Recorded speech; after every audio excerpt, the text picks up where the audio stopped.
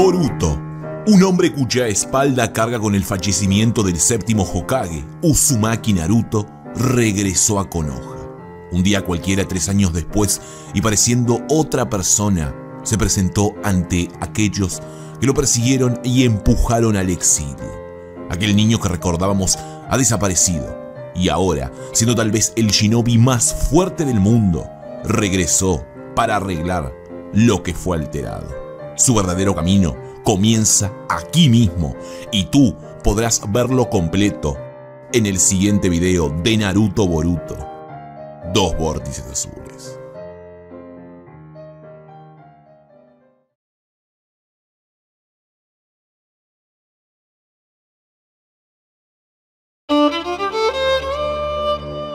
Luego de tres años, las primeras personas que volvemos a ver son Sarada Uchiha y Shikamaru Nara, este último ocupando el puesto del octavo Hokage tras el deceso de Naruto Uzumaki. Sarada, ofuscada y a los gritos, le dice al Hokage que se ha cansado de explicarles la situación infinidad de veces, refiriéndose al tema de Boruto y lo sucedido tres años antes. Por otra parte, Shikamaru tajante menciona que le dirá lo mismo otra vez. Ellos han cedido en el pasado Boruto acabó con Naruto y lo mismo quiero hacer con el hijo de este, Kawaki. Es un traidor en toda la regla. Sarada le responde que está haciendo suposiciones equivocadas, que a Boruto jamás se le pasaría por la cabeza atacar al Hokage y que al menos deberían darle la oportunidad de explicarse. Konohamaru, quien ahora está en el cargo que antes ocupaba Shikamaru, dice una enorme tontería, preguntando que si Boruto no se sentía culpable por qué escapó. Sarada responde con mucha lógica al decirle que cualquiera huiría si dan la orden de matarlo. Que por favor la cancelen ahora mismo y escuchen su versión de los hechos. Shikamaru da por terminada la conversación al decirle a Sarada que el castigo de Boruto tiene que ajustarse a las normas y al mismo tiempo a la voluntad del pueblo de la hoja, quienes se sienten indignados por su traición. No pueden contentar a todo el mundo, da igual lo que ordenen. Sarada furiosa le dice que es un cabeza dura, a lo que Shikamaru dice que se preocupa por ella y que a estas alturas no solo no alcanzará nunca el ser Hokage, sino que seguirá siendo un ninja de bajo rango toda la vida. Sarada, harta de escucharlo, le menciona que una vez el séptimo se fue de la aldea para traer de vuelta a su padre, quien era su amigo, pese al crimen gravísimo que había cometido. Y tras eso logró convertirse en Hokage siendo un ninja de bajo rango. Su modelo a seguir es el séptimo, y no él. Acto seguido, se va del recinto. Habiendo justamente hablado del séptimo, es Naruto y Hinata quienes aparecen. Aún dentro de la dimensión de Kawaki, ambos no presentan ningún cambio puesto que al no pasar el tiempo en ese lugar estando en animación suspendida, no envejecen y no necesitan nada para mantenerse con vida pudiendo pasar el tiempo que sea necesario ahí. Kawaki los observa y tras este momento volvemos a ver a Sarada ahora junto a Sumire. Las dos hablan sobre lo que dejó la omnipotencia de Ada, como las personas al principio eran conscientes de las contradicciones, pero a medida que el tiempo pasaba, estas iban difuminándose hasta que terminaron por aceptar que lo que sus recuerdos les muestran es un hecho irrefutable. Incluso Shikamaru, con la capacidad intelectual superior que posee, no tiene herramientas para cuestionarse a sí mismo y sus propios recuerdos.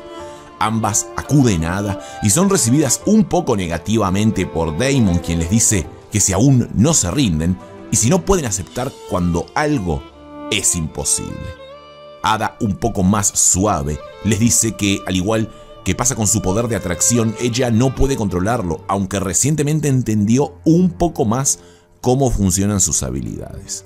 Esta cuenta que lo que ha cambiado son los recuerdos de toda la gente. Se reescribieron todos sus recuerdos relacionados con Boruto y Kawaki y, como resultado, sus posiciones se han invertido terminando por decir que lo mejor es que dejen de intentar revertir la situación y que lo más realista sería sobreescribir los otros recuerdos, aunque claro, podría haber riesgos. Esto último por el hecho de que Ada no lo hace a voluntad, puesto que, como antes dijo, no tiene control. El clima se pone tenso en el lugar ya que Ada no entiende cómo Sumire y Sarada no fueron afectadas, incluso cuestionándose si realmente son sus prisioneras, es decir, si la atracción funciona. Damon se percata de que posiblemente ambas estén mintiendo, a pesar de que Sumire dice que solo fingen no estar bajo el poder de la atracción. Tras irse las dos, es Damon quien queda alerta. En otro lugar volvemos a ver a Kawaki quien ha crecido en estos tres años. Junto a él Mitsuki, quien siente una gran furia por Boruto. Furia y temor, ya que a visión de Mitsuki, Boruto es un gran peligro para su sol, Kawaki. Sin embargo, Kawaki siente la presencia de Mitsuki muy desagradable al estarle encima todo el tiempo como, según palabras de él mismo, un acosador. Tras esto, Kawaki se marcha luego de ser avisado por el equipo de búsqueda que han encontrado marcas de arañazos en el muro exterior, dejando a Mitsuki pensativo por la actitud de Kawaki, actitud que, con sus recuerdos, no concuerda. En el campo de entrenamiento volvemos a ver a Himawari muy crecida y entrenando fuertemente con el equipo Inoji Kacho. Inojin le pregunta a Hima por qué quiere hacerse tan fuerte, a lo que esta dice que, aunque toda la aldea se enoje, su deseo es poder ayudar a Boruto. Shikadai se sorprende y le intenta explicar que está mal, puesto que Boruto fue quien terminó con la vida de su padre. Pero Hima dice que no. La imagen que ella tiene de él es muy diferente. Se jugó la vida para protegerlos a Naruto y ella. Un chico como él jamás haría algo así, terminando por decir que debe haber un motivo y, si es así, Boruto en este momento debe estar pasándola muy mal y que ella tiene la certeza que sus padres aún siguen vivos en alguna parte. Volvemos con Kawaki quien termina por desaparecer todos los arañazos de Kode, incluso uno que un ninja del equipo de búsqueda tenía pegado en la nuca. Kawaki habla con Shikamaru sobre lo sucedido y dice que lo mejor será reunir a todos los del equipo de búsqueda para ir encogiéndoles los arañazos uno por uno. Mientras el octavo se pregunta qué es lo que Kode se propone. En la aldea dos jóvenes hablan normalmente, sin embargo, de un momento a otro, un desecho o mini Yubi perteneciente al ejército de Kode emerge de la espalda de uno de estos. En un instante estas criaturas aparecen por todos lados invadiendo la aldea. Kawaki llega en el preciso instante en el que un mini Yubi está por atacar a una mujer. Sarada hace lo suyo también para encargarse de otra criatura. Sin embargo, de la criatura derrotada por la Uchiha emergen dos más. Y de esta última, Kode. El ex miembro de Kara saluda cordialmente a Sarada y le pregunta sobre Boruto. Ella le dice que no está aquí, que hace tres años se fue de la aldea. Kode menciona que lo sabe perfectamente, que lo ha estado siguiendo de cerca por dos años, pero está cansado. Sarada le repite que no está ahí, que busque en otro lado, pero Kode le responde que se expresó mal, dejó de buscarlo, por eso vino a Konoha. Mientras los desechos rodean a Sarada, Kode le dice que le pareció buena idea venir para que lo llame, ya que son sus antiguos compañeros y para él significan mucho que grite tan fuerte como pueda para que la escuche alto y claro.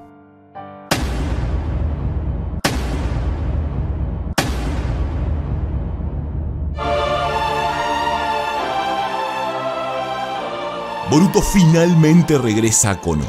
Con una entrada descomunalmente épica, el peor criminal de la historia del mundo shinobi regresa a la aldea donde hace tres años causó uno de los peores desastres.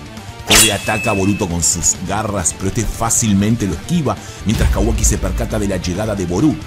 Shikamaru, Ada y Sumire también son alertados. Konoha recibe el peor de los enemigos, el hombre que terminó con la vida del séptimo Hokage, quien causó el cataclismo de la hoja y luego escapó junto al peor Uchiha de la historia.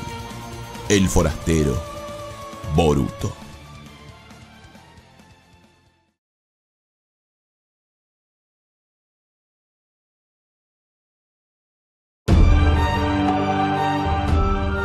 Finalmente Boruto regresó. Estando cara a cara con Kode, este último le dice que estuvo buscándolo, pero no creía que aparecería tan pronto. Boruto le dice que retire a esos monstruos y no deje ni uno, ahora que todavía los tiene bajo su control. Si lo hace, le perdonará la vida. Kode le recuerda a Boruto que hace dos años escapó de él porque no podía hacer nada. Sin embargo, ahora tiene el tupé de decirle que le perdona la vida. Boruto vuelve a decirle que lo escuchó. Si entendió, que se largue inmediatamente. Sarada ha quedado paralizada ante la presencia del rubio, quien le dice que todavía hay muchos monstruos rezagados, que lo deje en sus manos y que él se ocupará de Kode. Sarada no puede evitar preguntarle si se encuentra bien y Boruto solo le dice que luego hablarán. Lo primero es sobrevivir. Dentro de la aldea, el equipo Inoshikacho lucha contra los desechos de Kode, diciendo Chou Chou que no son muy fuertes, solo son muchos. Sin embargo, tras estas palabras, una de las criaturas emerge de otra y está a punto de morder a Chou Chou, quien termina siendo salvada por Inojin de puro milagro. Sin embargo, el mini Yubi logra zafarse y Hima, quien estaba con Inojin, cae, corriendo un inminente peligro de ser mordida. En ese mismo instante, Kawaki aparece volando a toda velocidad e impactando una brutal patada en el monstruo quien, tras caer, cambia. Esta criatura diferente al resto muestra un Rinengan. Incluso Shikadai se percata de esto diciendo que parece de un rango superior. Acto seguido, la inmundicia, otro de los tantos nombres que tienen, se enfoca en Kawaki y logra atraparlo. Teniéndolo por el cuello, este esboza unas palabras. Otsuzuki. En la desesperación, Shikadai inmoviliza al desecho para que luego Kawaki, activando su karma en el nivel 1, lo haga pedazos con un descomunal ataque de energía. Volviendo a donde se encontraban Kode y Boruto, el rubio es rodeado por los monstruos, los cuales parecen no dejar de salir, atacando todos al mismo tiempo, Boruto con unos movimientos realmente sorprendentes, hace pedazos a cada uno de ellos, demostrando su gran evolución en cuanto al uso de la katana. Kode le dice que no está mal y que parece no estaba alardeando. Boruto le responde que si quiere continuar, le promete que no quedará ni uno. A Kode no parece importarle mucho, puesto que menciona que son solo herramientas. Sin embargo, Boruto le dice que no tiene idea de lo temibles que realmente son estas cosas y el mismo 10 colas. Otra vez dentro de la aldea, Sarada elimina a varias inmundicias usando las técnicas insignias de su padre, Bola de Fuego y Chidori. Sin embargo, en un descuido está a punto de ser mordida, siendo Soegi, un ninja, quien la salva. Lo extraño ocurre después del ataque, puesto que la inmundicia empieza a transformarse en un enorme árbol, absorbiendo a Soegi. Puede que de esto se trate lo que dice Boruto, aunque Kode explica que conoce muy bien al Diez Colas. Este devora Otsuzukis. Bueno, en realidad no es más que una bestia que ataca todo lo que ve por instinto, hasta que tarde o temprano acabe topándose con su verdadero objetivo, un Otsutsuki. Boruto le dice que a lo mejor el original era así, pero estas cosas son diferentes porque él las ha sometido a un cambio. Kode no entiende muy bien qué quiere decir, pero Boruto recalca que aún están a tiempo. Hay que deshacerse de las inmundicias ahora mismo, que todavía las tiene bajo su control. De no ser así, irán derecho al peor futuro para todos.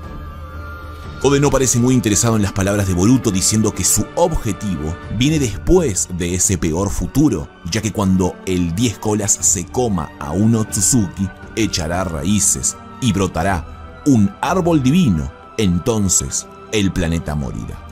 Boruto deja las explicaciones y le dice a Kode que se lo repite una vez más. Le perdonará la vida, pero a cambio debe llevarlo a donde está el cuerpo del 10 colas. Kode le dice que no diga tonterías, si se ha vuelto loco. No obstante, Boruto no va con vueltas y menciona que terminar con él sería muy fácil. Si va a desperdiciar su vida, ¿por qué no mejor intentar ayudar al mundo por lo menos? Claramente Kode se rehúsa y Boruto, mencionando que su estupidez no tiene cura, activa un jutsu. Kode lo observa y menciona que es un Rasengan, y si es que no sabe hacer otra cosa. Sin embargo, lejos está de ser un Rasengan ordinario. Boruto da los primeros pasos impulsado por el máximo poder del Rasengan Usuhiko.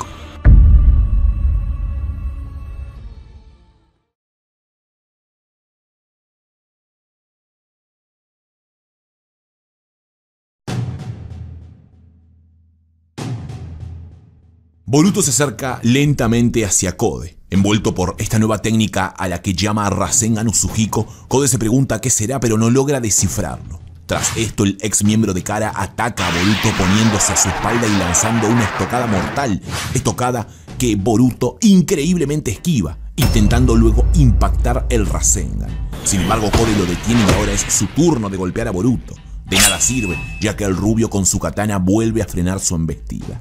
Kode le dice a Boruto que parece tiene mucha confianza en esa técnica, pero es una lástima, no sirve de nada si no puede darle. Esto lo menciona mientras activa su karma blanco, el cual lo potenciará enormemente. Boruto no se inmuta y le responde que se lo dijo antes. Acabar con él será muy fácil porque la técnica está medio completada.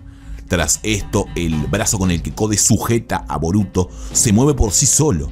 No, mejor dicho, es el Futon que rodea el cuerpo de Boruto el que lo mueve. Kode no entiende qué pasa y Boruto le dice que este será su último aviso, que lo lleve a donde está el 10 colas. Si no puede hacerlo, su vida terminará ahí mismo. Furioso ante estas palabras, Kode dice que lo intente y vuelve a atacarlo. Boruto esquiva el ataque a toda velocidad de Kode, sorprendiendo a este quien le dice que se quede quieto. Sin embargo, otra vez Boruto lo esquiva de una manera asombrosa. Kode empieza a desesperarse preguntando qué son esos movimientos. No está en otra dimensión para esquivarlo, tampoco es una técnica ilusoria o un clon. Mientras Kode piensa, Boruto, en una milésima, se pone detrás de él y con una mirada impiadosa finalmente impacta Usuhiko.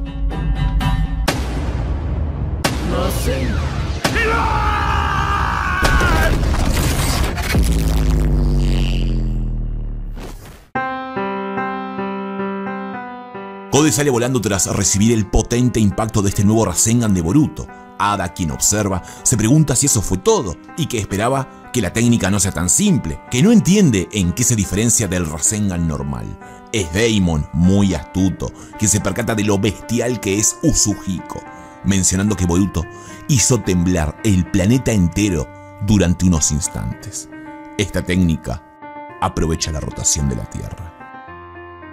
Boruto le menciona a Kode que lo ha dejado sorprendido. Sigue de pie después de recibir este ataque. Tras esto, a la vista de Kode, una rotación aparece y luego cae. Kode le pregunta que qué fue lo que le hizo, a lo que Boruto le dice que se lo tome como un feroz contraataque del planeta por atentar contra él. Es aquí que Boruto explica lo que es Usuhiko, el chakra del planeta, un Rasengan que adapta su rotación. Ahora, sabiendo esto, que piense que está circulando dentro de su cuerpo y no se irá nunca. Del mismo modo que el planeta nunca deja de girar. El daño continuará de forma semipermanente hasta que su vida se agote, lo cual sucederá antes de que el planeta deje de rotar. Un daño perpetuo. Por más que intenta ponerse de pie, Kode vuelve a caer. Boruto le dice que si cambia de parecer puede anular Usuhiko. Si lo lleva con el 10 colas podrá vivir. Que no sea tonto, que lo piense bien y decida. Estando contra las cuerdas, Kode irónicamente es salvado por Kawaki quien ataca a Boruto a traición, aunque claro, sin éxito. Junto a Kawaki, el equipo Ino Shikacho llega con él y también Himawari, algo que a Boruto lo mueve por dentro puesto que después de tres años vuelve a ver a su pequeña hermana. Aprovechando la situación, Kode intenta huir, aunque no lo logra puesto que Kawaki desaparece los arañazos. Mientras habla con Shikamaru, Boruto le dice a Kawaki que se aleje de Kode, pero él, ahora hijo del Hokage, le dice que no le dé órdenes y que si vino a la aldea, eso significa que está preparado para morir. Aprovechando esto, Kode expulsa de su cuerpo un mini Yubi para que ataque a Kawaki, ataque que es inútil, pero que le da el suficiente tiempo a Kode de por fin escapar. Shikamaru da la orden de acabar con todas las inmundicias rezagadas por la aldea, por lo que el equipo 10 se marcha junto a Hima y Kawaki queda cara a cara con Boruto. Kawaki le dice a Boruto que pasaron tres años y que con esas vestimentas parece el hijo adoptivo de Uchiha, refiriéndose a Sasuke. Boruto solo le dice que sigue queriendo tener la última palabra, pero que lo deja tranquilo el hecho de ver que Himawari está bien. Kawaki le dice que aparentemente escogió su ciudad natal para morir, por lo que él le dará una mano, aquí y ahora. Boruto le dice que no estaría nada mal que su vida termine ahí mismo, en la aldea, pero hoy no será el día, que por favor no se meta, que estorba. Tras esto, del cuello de Boruto emerge un sapo, el cual le dice que logró infiltrarse y que Kode volvió a la base. Boruto le pregunta si puede ver al 10 colas y el sapo le confirma que sí, que se encuentra ahí. Boruto está preparado para terminar su misión.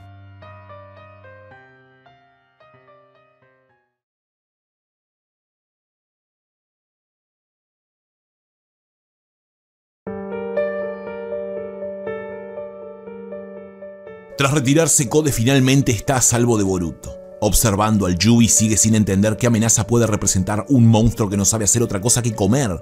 Mientras tanto en Konoha, el sapo le dice a Boruto que se dé prisa, que no pueden perder ni un segundo más.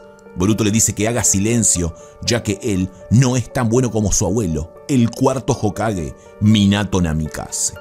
Acto seguido, Boruto ejecuta una legendaria técnica, Hiraishi no Jutsu, desapareciendo instantáneamente de la aldea. Apareciendo detrás de Kode, este no entiende cómo logró encontrarlo. Sin embargo, cuando el rubio va a buscar al Yubi, el monstruo no está. Tras esto, de la nada misma, una criatura humanoide y muy extraña aparece. Y Boruto dice haber llegado tarde. Kode sigue totalmente desconcertado de lo que sucede a su alrededor. Este tipo se parece mucho a Bug, quien se encuentra convertido en árbol a pocos metros de ese lugar. Boruto le dice que no es Bug, y que a quien tienen frente a sus ojos ahora mismo es el árbol divino. Sin previo aviso, la criatura ataca a Boruto con una gran ferocidad. Teniéndolo contra la pared, este mini Yubi evolucionado le menciona que ha venido para que lo devore, llamándolo Boruto Otsutsuki.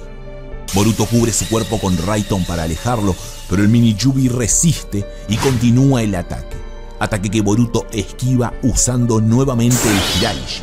Kode le exige explicaciones, pero termina cayendo puesto que los efectos de Usuhiko le están causando un gran daño, no dejándole opciones a Boruto y teniendo que anularlo. Ahora de pie, Kode le pregunta a Boruto qué fue lo que sucedió con el 10 colas y si esto tiene algo que ver con que Bug se haya transformado en árbol después de que se lo comieran. Boruto dice que Bug no es el único, y que toda la otra gente a la que han convertido en árbol está relacionada. Tras esto, por encima de ambos, aparece un nuevo enemigo. Con una apariencia amedrentadora, este hombre nacido del Yubi menciona que, al parecer, han evolucionado ligeramente gracias al ego que ha despertado Kode en ellos. Un tercer enemigo surge, una mujer, la cual se burla del ex miembro de Kara, diciéndole que es un bufón predestinado a ser utilizado por los demás, siempre para lo contrario de lo que desea. El sapo le dice a Boruto que la situación es crítica, que deben volver y reorganizarse. Delante de Boruto aparece un cuarto enemigo, a quien Boruto observa fijamente, y es que este hombre tiene un aspecto muy familiar. En el recinto del Hokage se vive mucha tensión. Kawaki le cuenta a Shikamaru todo lo sucedido y es Sarada quien interrumpe para decirles que lo que pasó es fácil. Kode atacó con hoja y Boruto la defendió. La tensión máxima es entre Kawaki y Sarada, puesto que esta última le menciona que no permitirá que campe a sus anchas por la aldea. Esa es su misión como ninja que aspira a ser Hokage. Kawaki le responde que cuando todo esto acabe, estará encantado de desaparecer. Por ahora, hará lo que sea necesario para cumplir su objetivo. Volviendo al lugar donde se encuentran Boruto y Kode, se presentan a estos cuatro enemigos quienes tienen por nombre Jura, Hidari, Matsuri y Bug. Boruto continúa enfocado en Hidari quien es innegablemente igual a Sasuke, su maestro el sapo le dice que se detenga, que un ataque sorpresa no saldrá bien, que debe salir de ahí.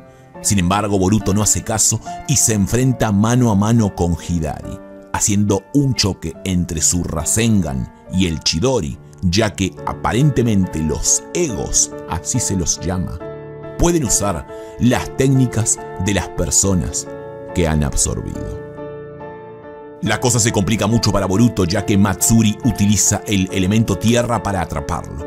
Kode observando todo y ante el pedido de ayuda de Boruto, de forma cobarde decide escapar, no dejándole ninguna opción al rubio y teniendo que salir de ese lugar con el Hiraishin no Jutsu.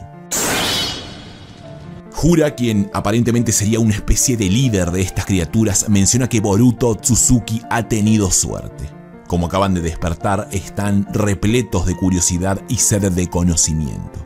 De momento, eso supera sus instintos de devorarlo. Puede huir a donde quiera, porque esté donde esté, jamás podrá escapar de su destino.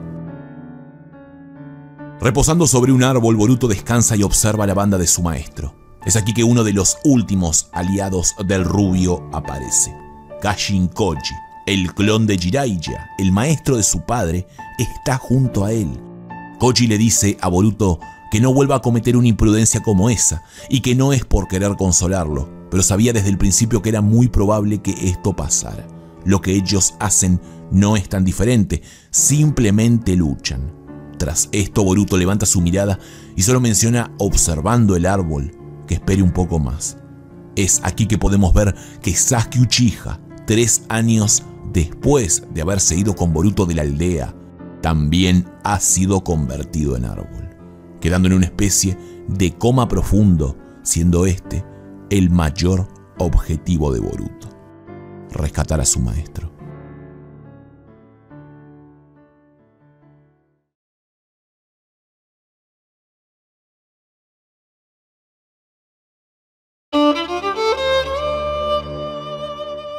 Años antes de los sucesos que vimos anteriormente podemos ver a un Boruto un poco más joven, pero sí muy distinto, con el pelo bastante largo y portando una capa similar a la de Sasuke, aunque sin sus ropas actuales y entrenando Kenjutsu.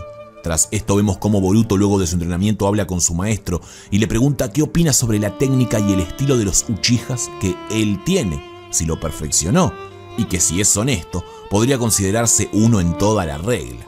Sasuke le responde que sí, que podría considerarse un genio, agregando que en ese tiempo le mostró todo lo que tiene, todas sus técnicas y jutsus. Así que de ser estas palabras literales, lo que hemos visto de Boruto sería solo un pequeño porcentaje del increíble repertorio que debe tener bajo la manga. Luego de esta conversación, ambos deciden retirarse y se percatan de una presencia que los sigue. Esta presencia era Code y es aquí que por fin vemos lo que sucedió dos años antes en esa pelea contra el ex miembro de Kara, a quien vemos tomarse el rostro momentos después de haber perdido su ojo. Esta herida habría sido causada por el mismo Sasuke quien le dice a Boruto que debe huir, mientras el rubio se niega rotundamente al grito de que no abandonará a su maestro. Las últimas palabras de Uchiha son que Boruto debe sobrevivir pase lo que pase y que debe dominar todo lo que le enseñó e inculcó. Si lo consigue, no habrá nadie que pueda hacerle frente. Y que por favor, cuida a Sarada.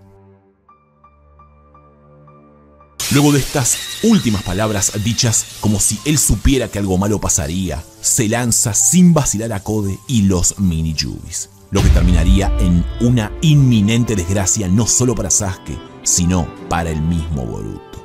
Volviendo a la época actual, dejamos los recuerdos para volver a ver por segunda vez a los nuevos y muy peligrosos antagonistas de turno, quienes hablan sobre sus objetivos y conciencia de cada uno, siendo esto algo a lo que deben prestarle especial atención porque es muy interesante.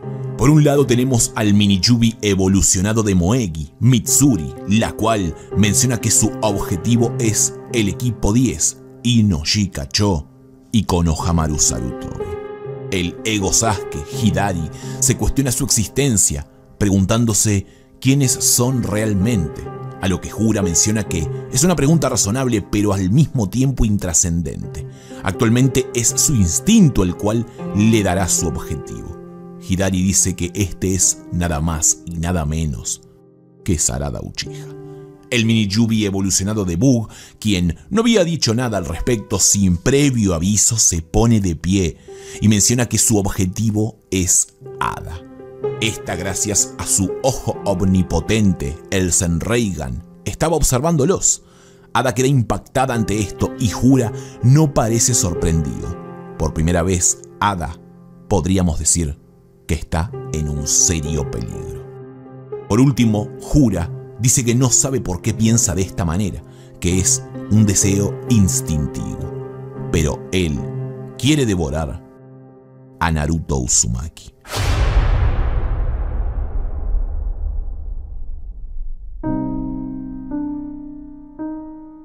Regresando al pasado y los recuerdos de Boruto, la pelea contra Kode parece haber terminado. Entre los restos del ejército de Miniyubis de Kode, Boruto se acerca a un árbol que se encontraba en medio de la pelea. Dicho árbol era el mismo Sasuke quien momentos antes, durante el combate, había sido atacado, absorbido y posteriormente transformado.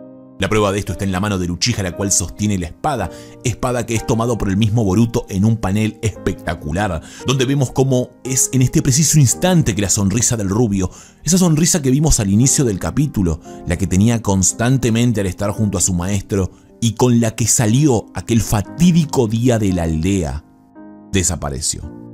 Es en este preciso instante que Boruto conoció el infierno casi como una malévola referencia, Boruto quien hasta hace unos momentos se sentía un Uchiha, tuvo la experiencia trágica que elimina las emociones y rompe el corazón de estos, pudiendo así decir que sí, Boruto, efectivamente, es todo un verdadero Uchiha de ley.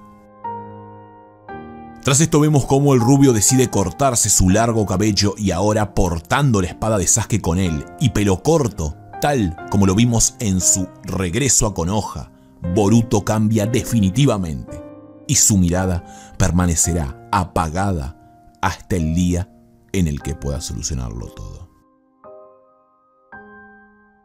Finalmente volviendo a Konoha, Sarada tiene su más feliz momento en tres años. A sus espaldas observa la figura de Boruto que, tras lo sucedido con Kode, se presenta ante ella y su mire las únicas dos personas que lo recuerdan y esperaban su regreso.